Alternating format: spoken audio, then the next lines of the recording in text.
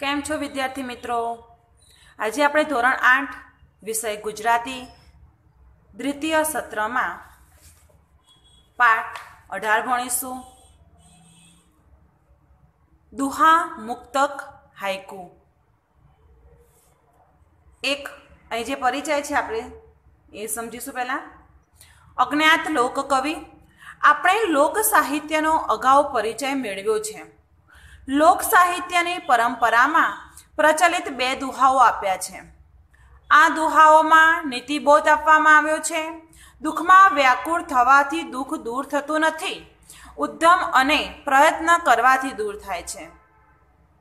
ઉપકાર કરનાર ઉપર ઉપકાર કરીએ એ તો વ્યવહાર ગણાય. ખરી ક્ષત્રિય વળતો ઉપકાર કરનાર ઉપર પણ ઉપકાર કરવામાં આવે તેમાં છે.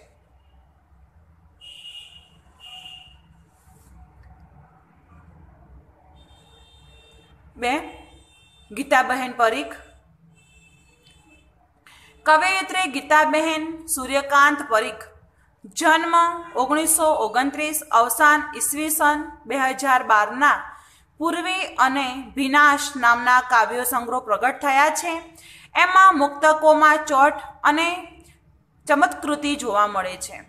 મુક્તકમાં બે કે ચાર લીટીમાં કોઈ વિચારનો સંગન અને રસાત્મક નિરૂપણ થયેલું હોય છે. રસ નામના એક પંક્તિના મુક્તકમાં કવિયત્રીએ દ્રષ્ટાંતથી રસ ભરતા અને શુક્રતા વચ્ચેનો ભેદ સ્પષ્ટ કર્યો છે. જેવી રીતે સૂકા પાંદડા અવાજ કરે છે અને લીલા પાંદડા શાંત રહે છે. તેવી જ રીતે કાનખરા માણસો મૌન રહે છે. જ્યારે આળસુ માણસો વ્યર્થ બબડાટ કરતા હોય છે. ત્રણ સ્નેહરશ્મિ. સ્નેહરશ્મિ ઉપનામથી જાણીતા કવિ જીણાલાલ, જીણાભાઈ રતનજી દેસાઈ, જન્મ ઈસવીસન ઓગણીસો ત્રણ, અવસાન ઓગણીસો ત્રાણું. ચીખલી જિલ્લો વલસાડ ગામના વતની હતા. ઘણા વર્ષો સુધી અમદાવાદમાં આવેલી ચીન વિદ્યા વિહારના આચાર્ય તરીકે એમણે કામ કર્યું હતું. અધર્ય અને પનગટ જેવા કાવ્ય સંગ્રહ ઉપરાંત એમણે જાપાની કાવ્ય પ્રકાર હાઇકુનો સંગ્રહ, સોનેરી ચાંદ, રૂપેરી સૂરજમાં આપેલ છે. એમના લયમધુર ગીતો અને કોમળ, ભાવસ્પર્શી હૈકુ વિશેષ જાણીતા છે. કાવ્યો ઉપરાંત એમણે ટૂંકી વાર્તાઓ, નવલકથા અને આત્મકથા પણ લખ્યા છે. પહેલાં હાઇકુમાં વૃક્ષની સૂકી ડાર ઉપર પોપટના બેસવાથી જાણે વૃક્ષને લીલા પાન ફૂટ્યા એવા કલ્પન ભાવ રજૂ થયો છે. બીજા હાઇકોમાં પણ એક રમ્ય કલ્પન ભાવ રજૂ થયો છે. અંધારો બધી વસ્તુઓને કાળાશથી રંગી દે છે, માત્ર દીપ જ રંગતો નથી. હવે આ દુહા છે, દુહામાં આપણે ઘણું બધું સમજાવવામાં આવ્યું છે. કે પહેલાં આજે પરિચય સમજ્યા છીએ, હવે પહેલાં આપણે દુહા ભણીશું. અને હું તમને સમજાવીશ મિત્રો. દુહા. દુહા નો મતલબ દુહા વિપત એટલે કે વિપત્તિ, દુઃખ, આફત, મુશ્કેલીની વાત કરી છે અહીં. વિપત પડે ના વલખીએ, વલખે વિપત ન જાય વિપતે ઉદ્દમ કીજીએ ઉદ્દમ વિપતને ખાય.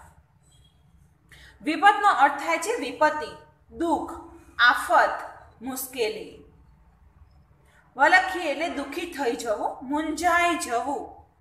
ઉદ્ધમ. એનો સામાનથી અર્થ છે પુરુષાર્થ, મહેનત.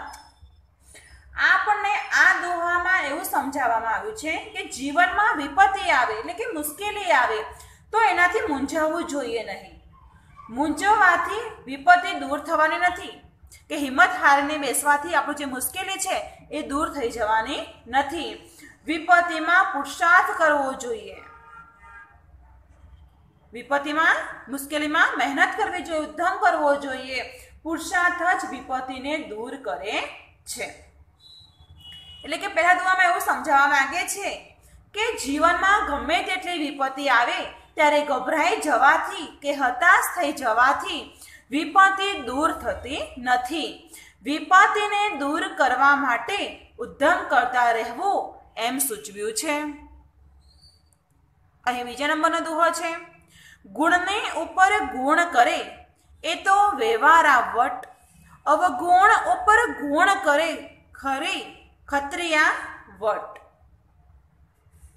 અહીં ગુણ એટલે સદગુણની વાત કરી છે. જે ઉપકાર છે તે સદગુણની વાત કરી છે. વ્યવહાર વટા, એટલે વ્યવહારની જે રીત છે તે. અવગુણ, એટલે દુર્ગુણ.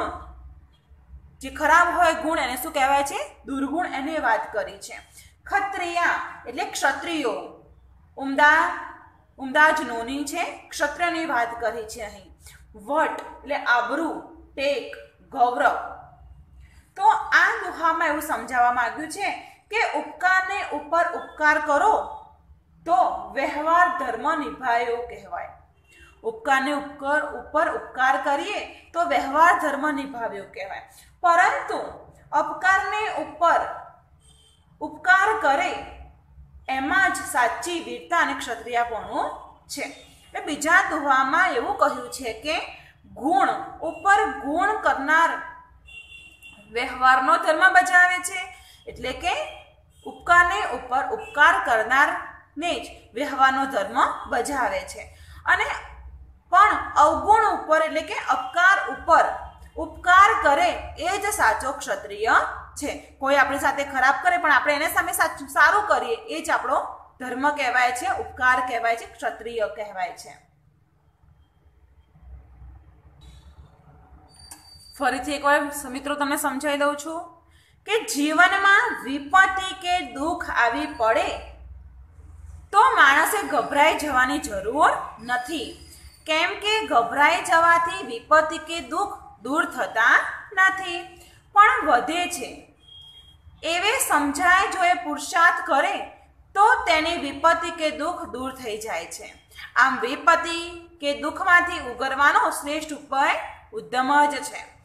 અહીંયા સમજાવું છું હવે કે સામાન્ય રીતે કોઈ માણસ આપણી સાથે સારી રીતે વર્તે છે કે આપણે ઉપર ઉપકાર કરે, તો આપણે પણ એની સાથે સારો વર્તાવ કરીએ છીએ. અને તક મળે ત્યારે એના ઉપર ઉપકાર કરીને ઋણ ચૂકવીએ છીએ. આ તો એક વ્યવહાર છે, પરંતુ જો કોઈ આપણી સાથે સારી રીતે ન વર્તે કે આપણા ઉપર અપકાર કરે, તો પણ એ વાતને મનમાં ન રાખતા. અને એના ઉપકારની સામે આપણે ઉપકાર કરીએ, એમાં જ સાચી વીરતા છે. એ જ સાતો સાચો ક્ષત્રિય ધર્મ છે. હવે અહીં આવે આપણે મુક્તક. સુકા પણો વન ગજવતા, શાંત લીલા સદાય. પૂર્વીમાંથી લેવામાં આવેલું છે અહીંયા. એવું કહે છે કે સૂકા પાંદડા ખડખડ અવાજ કરીને વનને ગજવે છે, જ્યારે લીલા પાન હંમેશા શાંત રહે છે. કે મુક્તકમાં? ગીતા પરેખે સૂકા અને લીલા પાંદડાની લાક્ષણિકતા જણાવી છે કે લીલા અને સૂકા પાનના દ્રષ્ટાંત કવિએ યત્રીય ભાવ પ્રગટ કરે છે કે જેમ સૂકા પાનના ખરખર અવાજથી આખું વન ગાજી ઉઠે છે. પણ વૃક્ષની ડાળી પર લીલા પાન આવે છે ત્યારે એ શાંત હોય છે. એમ, અધૂર પરવાળી વ્યક્તિ પણ બહારથી સારો દેખાવાનો પ્રયત્ન કરતી હોય છે. પણ હકીકતમાં તો એ પોતાની અધૂરપણ ઢાંકવા માટે ખૂબ જ પ્રયત્ન કરતી હોય છે. જ્યારે બહારથી શાંત દેખાતા માણસ ગુણોથી સભર હોય છે. અહીં ત્રણ છે હાઈકુ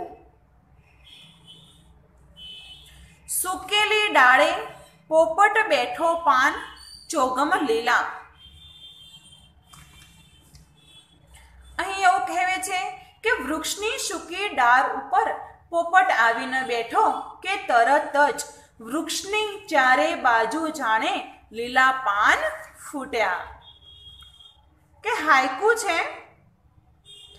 એમાં કહે છે કે હાઈકુ એ કે આપણા જે વૃક્ષ છે, પહેલા જે હાયકામાં વૃક્ષની સૂકી ડાળ ઉપર પોપટ બેસતા જ વૃક્ષને જાણે લીલા પાન ફૂટ્યા હોય એવી કલ્પના કવિ કરી રહ્યા છે. કે પહેલા હાયકામાં કવિ પોપટ ને વૃક્ષની સૂકી ડાળ પર બેઠેલો જુએ છે અને વૃક્ષ જાણે લીલા પાંથી છવાઈ ગયું હોય એમ તેમને લાગે છે. આ હાઇકુનો ભાવાર્થ એ છે કે પાનખર ઋતુની જેમ માણસના જીવનમાં પણ ક્યારેક દુઃખના દિવસો આવે છે અને શૂન્ય અવકાશ સર્જાઈ જાય છે. પણ ક્યારેક જીવનમાં જરૂર વર્ષા ઋતુ, વસંત ઋતુ ખીલશે અને સુખના દિવસો આવશે. અહીં બે નંબરમાં છે. ફરતી પીછી અંધકારની દીપ નહીં રંગાય. સોનેરી ચાંદ રૂપેરી સૂરજમાંથી લેવામાં આવેલું છે. અહીં કહે છે કે અંધકારની પીછી જે જે વસ્તુ પર ફરી વળે છે તે તે વસ્તુને એ પોતાના કાળા રંગે રંગી દે છે. પરંતુ દીપક એના રંગે કદી રંગાતો નથી. દીપક પર એની કોઈ અસર થતી નથી. અહીં બીજા હાયકામાં કવિ એવું કહ્યું છે કે અંધકારની પીછે જે જે વસ્તુ પર ફરે છે, તે તે વસ્તુઓ કાળા કાળા રંગથી રંગાઈ જાય છે. પરંતુ પીછીના કાળા રંગની દીપક જે દીવા પર કોઈ અસર થતી નથી. કે કવિ ફીરતી પીંછી હાઈકુ એ તરંગ રજૂ કર્યો છે. અંધકાર રૂપી પીંછી જ્યાં જ્યાં ફરે છે, તે તમામ વસ્તુઓને એ પોતાના કાળા રંગથી રંગી દે છે. પણ દીવો તેના કાળા રંગથી કદી રંગાતો નથી. આ હાઈકુનો ભાવાર્થ એ છે કે આજ્ઞા માણસ આજ્ઞાની માણસ પર માયા રૂપી અંધકારની અસર થાય છે. પરંતુ જ્ઞાનીને કદી મોહ માયા સ્પર્શી શકતો નથી. તો અહીં આપણું દુહા, મુક્તક અને હાઇકુ તે પૂર્ણ થાય છે.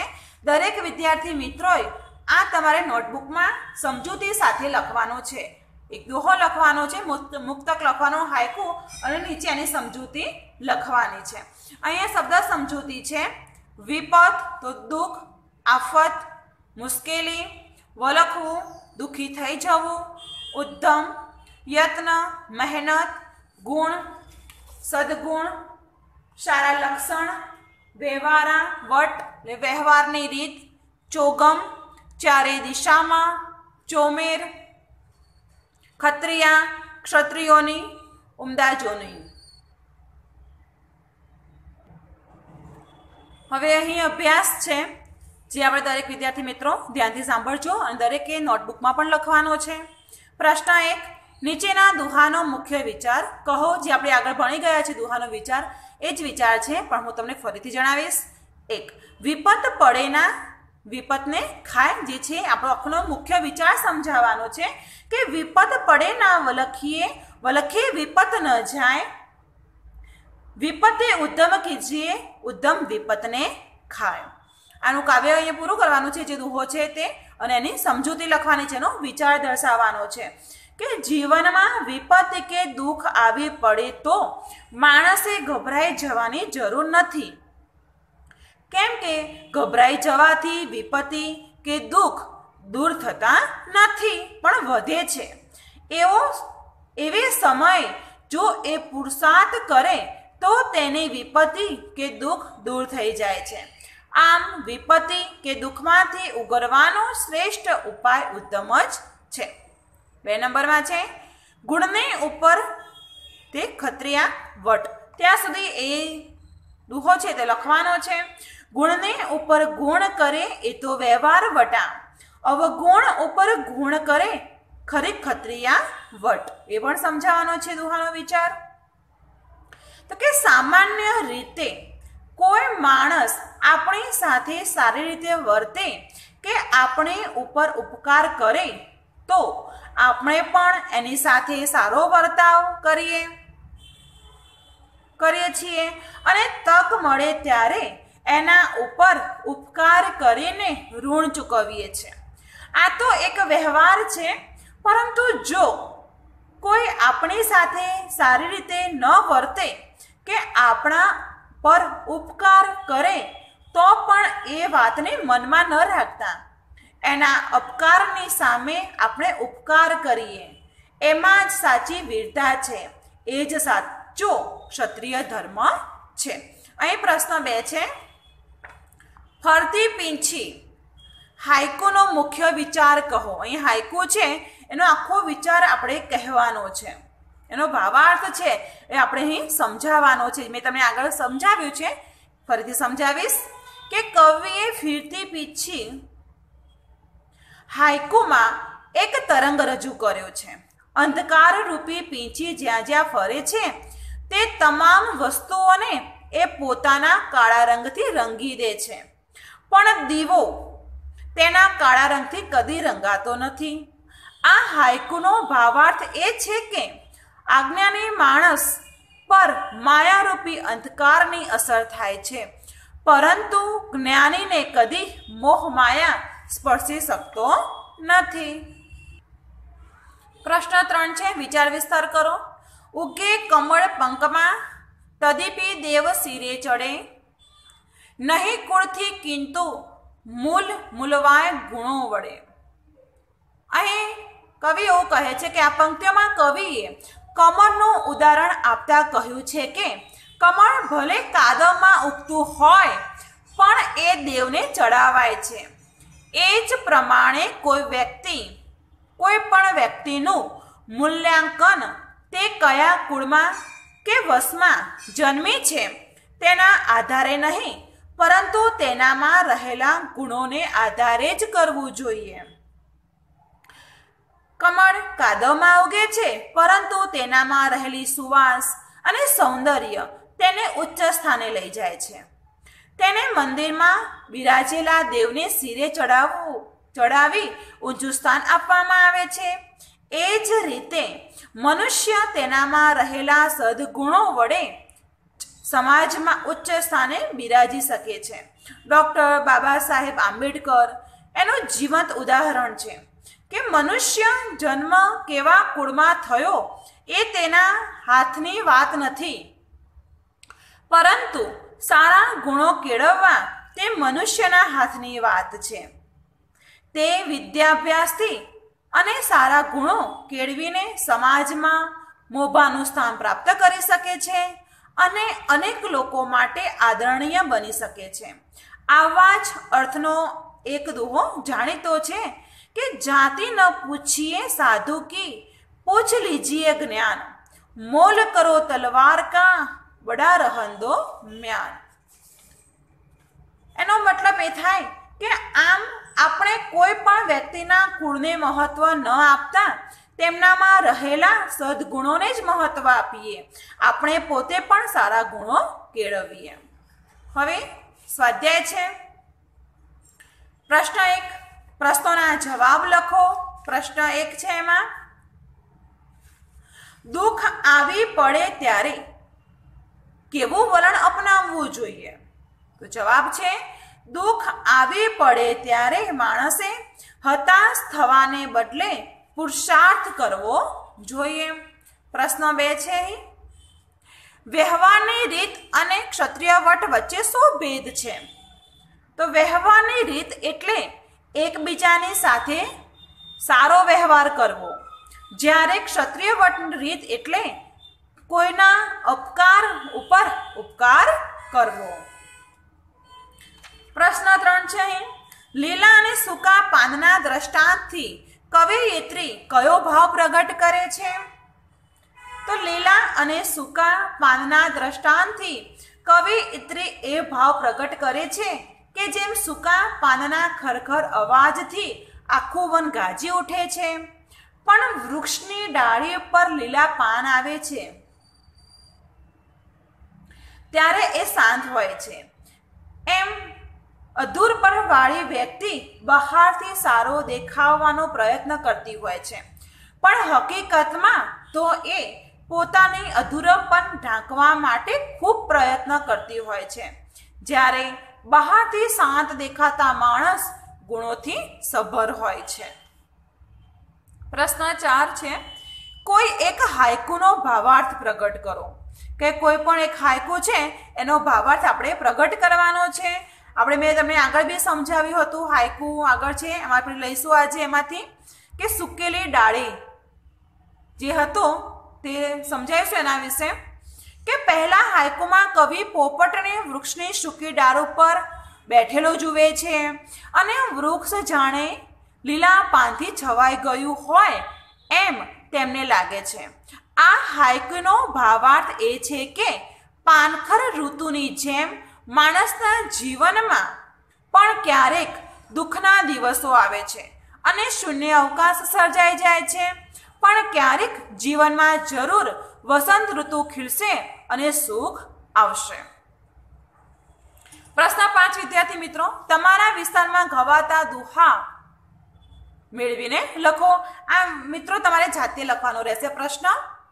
તો અહીં આપણું આ અઢારમું ચેપ્ટર છે, પૂરું થાય છે. દરેકનું હોમવર્ક છે કે દુહા છે એ તમારે નોટબુકમાં સમજૂતી સાથે લખવાના છે. ટિપ્પણ છે તે લખવાની છે. અભ્યાસ અને સ્વાધ્યાય દરેક વિદ્યાર્થી મિત્રોએ પોતાની ગુજરાતીની નોટબુકમાં લખવાનું રહેશે. આવજો મિત્રો.